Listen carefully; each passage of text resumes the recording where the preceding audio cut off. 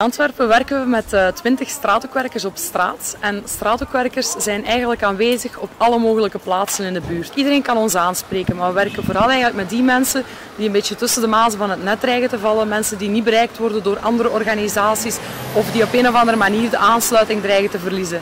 En dat kan bijvoorbeeld gaan van uh, mensen in armoede, gezinnen in armoede, maar ook eenzame bejaarden, zowel als bijvoorbeeld teruggebruikers of uh, daklozen of mensen zonder papieren. Belangrijkste wat straathoekwerkers doen is uh, contact leggen met de gasten op straat en dat vanuit een positieve benadering.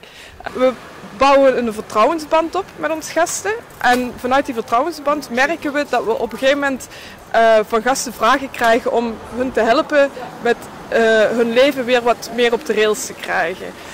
Belangrijk hierbij is dat wij echt werken op hun tempo en dat wij hun dat niet gaan opleggen. Wij, wij nemen onze gasten serieus. En ook hun problemen zijn serieus.